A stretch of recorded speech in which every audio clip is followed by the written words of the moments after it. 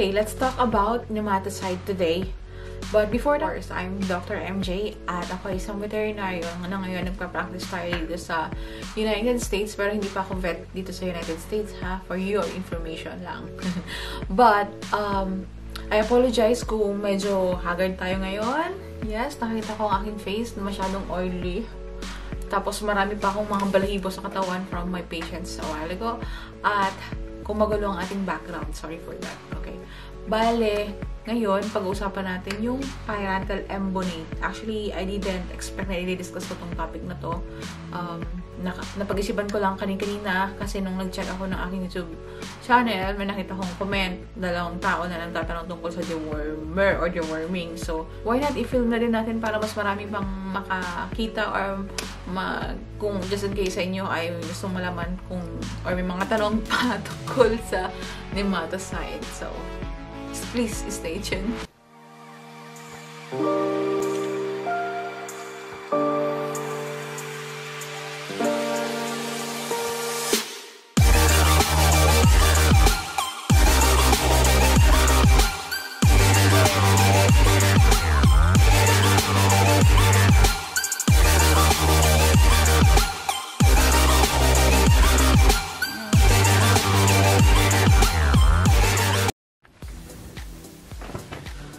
Well, actually, so dahil lang nagtatagilid ang aking upuan.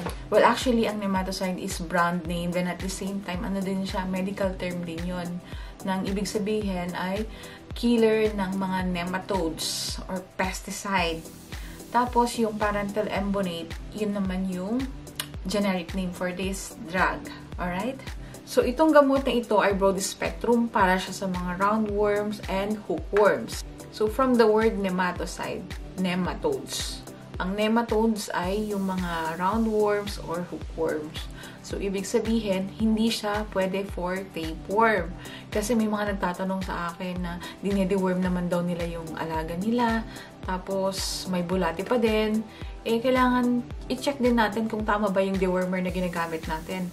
At isa pa, kadalasan na mali yung dosage na ibinibigay, underdose, at yung iba delikado o overdose. So, kailangan natin itimbang yung pet natin para makuha natin yung tamang dose. Makikita nyo dun sa label kung paano siya ibigay or pwede nyo tanungin ang inyong veterinarian kasi ito namang dewormer naman ito ay over the counter lang. Kaya pwedeng kayo na ang magbigay sa inyong mga patients para mas makatipid. Pero hindi ko siya nire-recommend na ibigay kapag heavily infested yung ating ano ha. Ibig sabihin kapag napakamaraming bulati kasi baka manghihina yung ating mga pets. Mas magandang pumunta na lang kayo sa inyong vet kapag suspected na parang ang laki ng tiyan, tapos payat.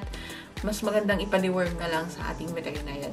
Also, So, uulitin ko lang, hindi siya for tapeworm. Kasi kahit ilang beses mo siyang bigyan nito, kahit ibuhos mo, ipainom mo lahat yung isang bote. Kung tapeworm ang bulate, hindi magagamot. Kaya, useless lang. Tapos, I recommend din na, siguro kapag nabigay na natin tong dewormer na to for um, 4 to 5 times, let's try other dewormer din. O kaya, kasi meron yung dewormer na parental praziquantel o kaya naman yung may kasamang pebantel. So, mas maganda yung ano, uh, mag-switch tayo doon after using this. Hindi yung ito lang na palagi yung ginagamit natin na dewormer. At uulitin ko lang ulit, kailangan yung timbangin ang inyong alaga bago nyo siya bigyan ng gamot. Ang dosage po nito ay for dogs is 1 ml per 1 kilogram at sa cats naman ay 4 ml per kilogram body weight. So, kailangan nyo silang timbangin. Okay? Okay, and make sure kapag ka-deworm natin sa kanila, i-observe natin yung poop kung may lalabas na bulate. Para naman, at least aware tayo, di ba, na may worm sila. Tapos, ano din, may tendency na pwede sila magkaroon ng diarrhea after de- deworming. Tapos, or sa discomfort, gastrointestinal discomfort, or yung sumasakit yung tiyan, ganyan. So, ayun, yun lang. I think na cover ko naman yung kadalasang mga tinatanong sa akin for this drug. So, so I think yun na yun. Wala na tayong may dadagdag pa.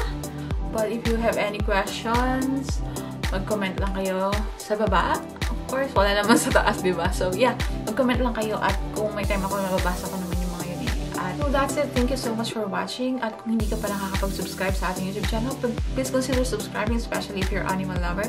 At hit the bell icon na rin para na rin updated kayo sa animal videos na ginagawa natin or kapag may video tayong na-upload. At kadalasan kasi pagka-upload ko ng video, active pa ako sa YouTube at kung kung mag-comment ka agad doon sa newly upload ko, may makakapag-reply ako sa mga comment niyo. So, yeah, that's it and I hope you have a great day. Bye-bye!